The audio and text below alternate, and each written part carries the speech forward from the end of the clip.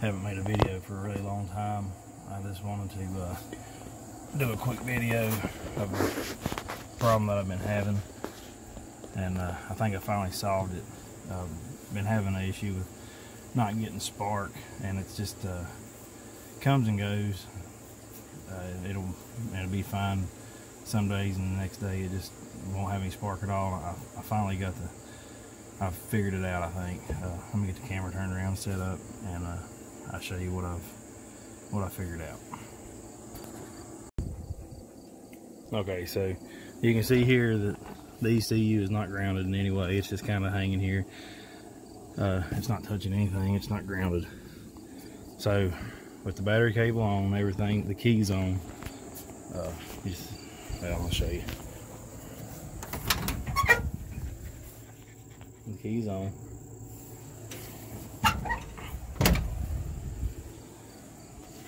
if I take my test light you touch the case it lights up. And if I touch it lights up. So it's not grounded. All right so now I got a little test wire hooked to my ground side of the battery and I'm gonna use this to ground it out. So you can see there stick it right here. No light. It's grounded.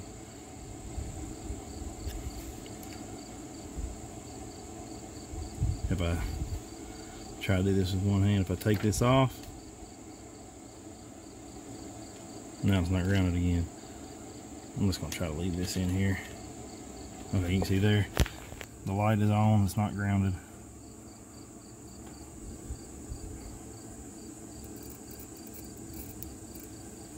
grounded out the light goes off.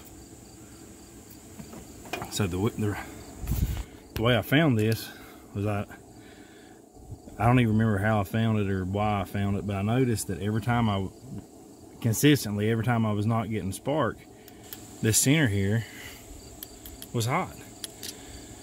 And uh, I would go and I would wiggle this connector and then it would go away and it would start up. So this whole time I thought it was this connector and I've been you know searching the wires and trying to figure out what was losing connection that this that this would happen. And then I don't I was just messing around. And I figured out that this right here was hot too. And then I remembered uh, Dale uh, from For Everybody's Only was telling me that if the case was not grounded that it would be hot. It would have juice and so then I made the connection that when this is hot this is also hot so that it had to be a ground. So I pulled it I took a wire grounded it out through the bolt and then sure enough it went away and it started right up. Uh, you can see this is where I had the ECU mounted. It's bare metal. I'm just not I'm not sure why it's not connecting.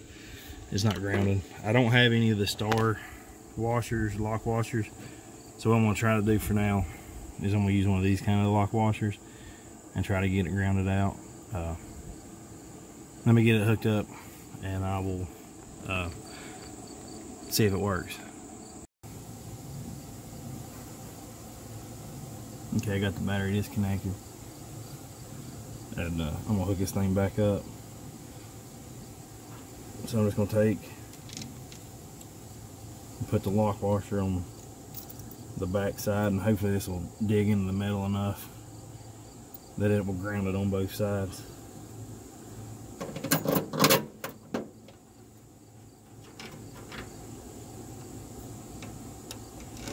Then we'll get some of the uh,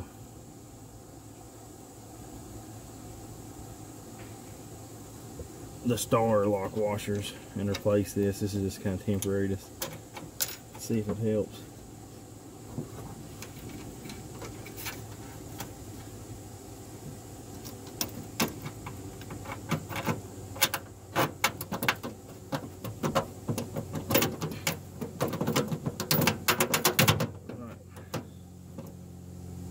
puts a pretty big gap in between the ECU and the inner fender. I didn't even think of that. Well, let's lock it down. We'll try it anyway. Let me go get my wrench.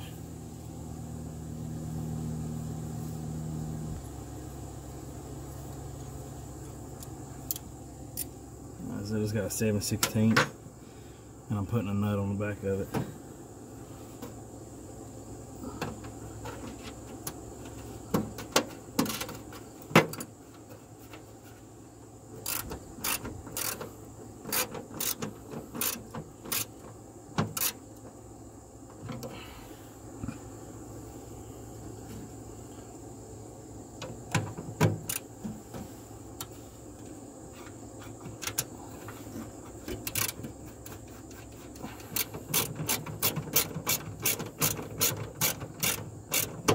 Okay, tighten it down.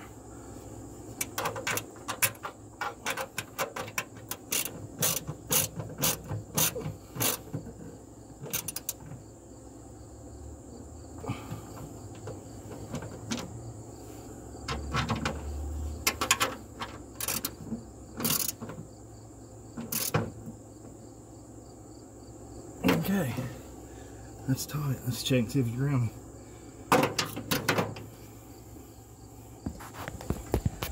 I'm just gonna put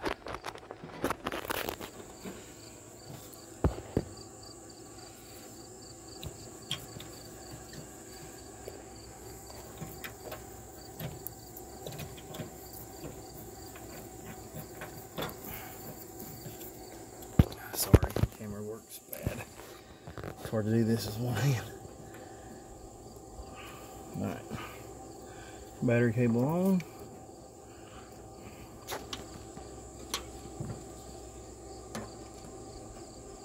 No light. Alright. Let's crank. Okay, so now everything's hooked up. Let's try to start it. Put the battery cable back on. Key still on.